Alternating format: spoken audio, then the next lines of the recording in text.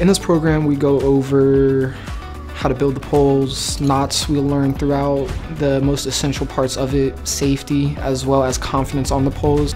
The main safety contraption we have to keep us stabilized to the rest of our equipment, which is this BuckSqueeze here. Here we have our BuckSqueeze uh, centered at nine and three. These clamps outwards. now we're good to go up. You don't even have to be an aerial lineman. There's fiber optic, which you only go 20 feet up. I mean, yeah, you're still in the air, but you're not going, you know, 40 to 80 feet in the air. And there's also underground linemen.